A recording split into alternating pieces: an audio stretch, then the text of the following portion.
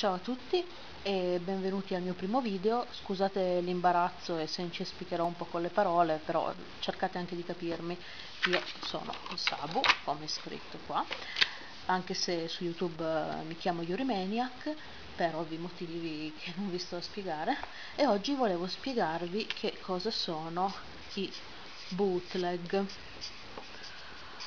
I bootleg eh, nessuno ne parla o se ne parlano sono solitamente in forum stranieri e molti dei cosiddetti otaku non sanno nemmeno di cosa si tratta. Il bootleg in breve è un CD o un DVD eh, copiato eh, da quelli originali senza autorizzazione e rivenduto da mm, rivenditori stranieri per dire un CD è prodotto in Giappone e questi vengono rivenduti dal Taiwan, da Hong Kong, eccetera. Sono originali in quanto a fattura, ma non originali eh, per quanto riguarda, mm, come si può dire, io compro il CD di un cantante, ma non è eh, quello che ha autorizzato lui alla vendita, non è della sua casa discografica, ma di una secondaria. Quindi, eh, nonostante vengano rivenduti come originali, non lo sono. Per farvi un esempio molto pratico, cosa è successo nella mia esperienza? Ho acquistato un CD che adesso vi trovo, ecco, la soundtrack di Final Fantasy VII Crisis Score. Come vedete eh, questo CD è originale, ve lo dimostro anche, sono due CD questi, due cd originalissimi stampati stampati di per sé insomma hanno tutte le copertine le, mm, questi segnalini esterni che vengono inseriti di solito nei cd giapponesi un librettino veloce con qualche informazione delle illustrazioni eccetera cosa è successo? un bel giorno ho visto questa stessa host original soundtrack da un ragazzo che aveva un blog eh, estero e, e, ho visto che queste due immagini non erano affatto uguali alle mie. Allora gli ho chiesto scusa, ma esistono sul commercio eh, più varianti di questa soundtrack? E lui mi ha spiegato appunto che cos'è il bootleg. Eh, come potete vedere, qua dietro, non so se si vede bene, eh, c'è scritto Mia Record Mia Record è una casa produttrice di mm, CD, DVD, video, eccetera, eh, che fa queste copie esatte eh, dei, delle soundtrack o di altri DVD. Quindi sono bellissime da vedere, sono perfette come libretto, come CD, come musica, registrazione e tutto, ma non sono originali. Quindi, in breve, come riconoscere un bootleg? Ci sono tre punti chiave. I bootleg di solito vengono rivenduti, quelli di anime, eh, soundtrack eh, di videogiochi eccetera, da due grosse compagnie, dalla Mia Record e dalla Ever Anime. Non sono ovviamente eh, i produttori originali giapponesi, quindi, secondo punto, per riconoscere un bootleg, ehm, quando lo andiamo a comprare su eBay o quando chiediamo al rivenditore scusa da dove l'hai comprato, se ci risponderanno che eh, i paesi da cui l'hanno acquistato sono il Taiwan e Hong Kong,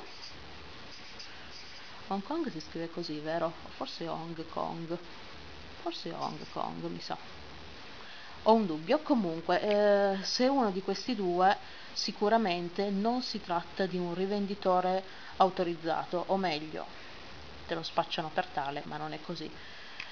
Ultimissimo consiglio è vedere sempre il prezzo.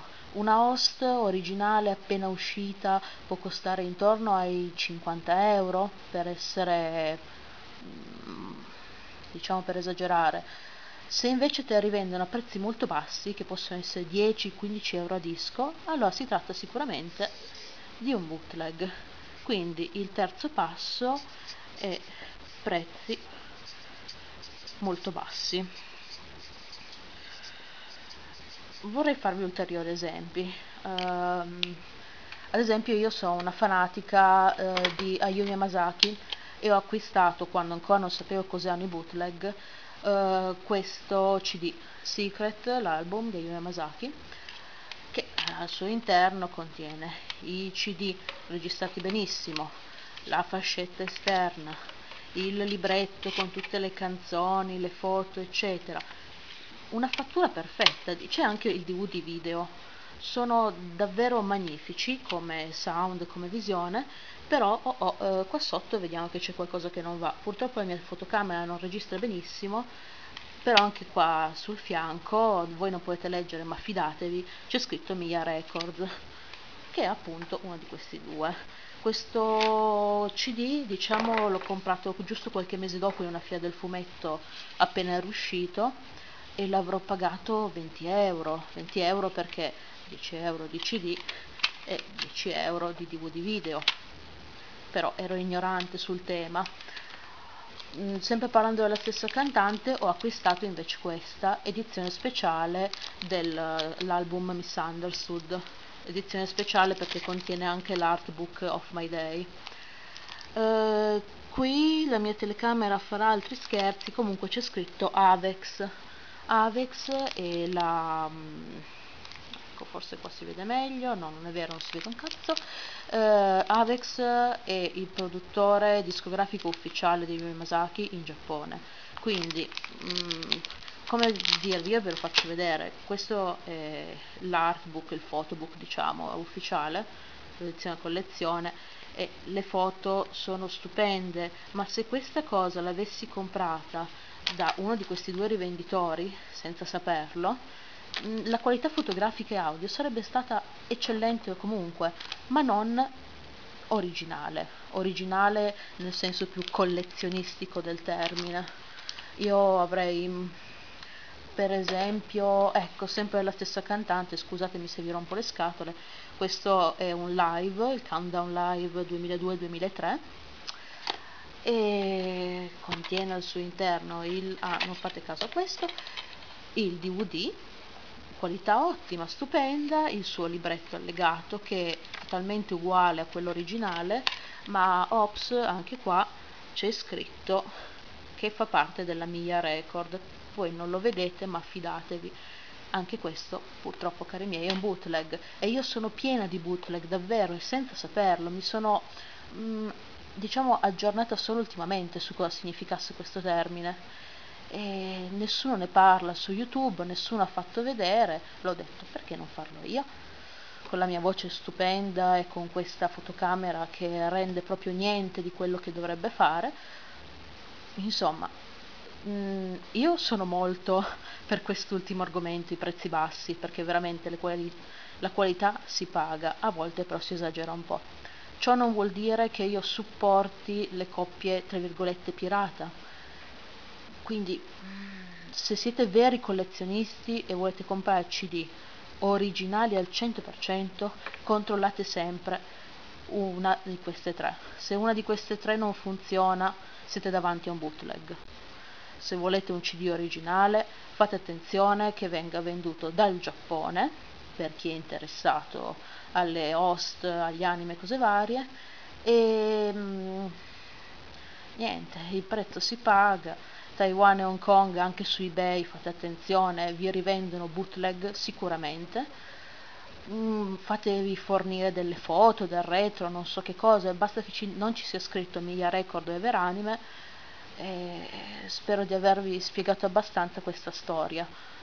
Io spero che la qualità audio vi sia piaciuta, è stato il mio primo video, ho detto ma perché non parlarne? Cioè, sono appena stata una fiera del fumetto, ne ho visti moltissimi di questi, volevo acquistare una um, soundtrack di Final Fantasy, che ne ho parecchie, a me piacciono molto queste, le piano collection, ce l'ho del 7, dell'8, del 9, del 10, volevo acquistare le ultime di Final Fantasy 13, 13, 2 al di là che siano bei giochi o meno, mi piacciono le soundtrack, ma i prezzi erano bassi. Non ho controllato effettivamente una di queste due condizioni, però vai a fidarti, io vorrei un collezionismo puro. non si può sempre avere e purtroppo i cosiddetti otaku non sono sempre straricchi da permettersi edizioni costosissime. Benissimo, eh, per oggi è tutto, spero di avervi allietato e avervi insegnato qualcosa di più e spero che da questo verrà fuori un prossimo video. Non so ancora l'argomento, se avete dei suggerimenti che non siano i soliti, del tipo parla di politica, parla della condizione omosessuale in Italia o parla di cose altro, ragazzi, sono argomenti che mi interessano molto, ma mi odio ripetermi. Lo lascio fare a chi l'ha già fatto in modo buono e corretto, anche se sentire l'opinione di molti è una cosa perfetta. Quindi, dopo di questo, io vi saluto e ci rivediamo la prossima volta. Ciao!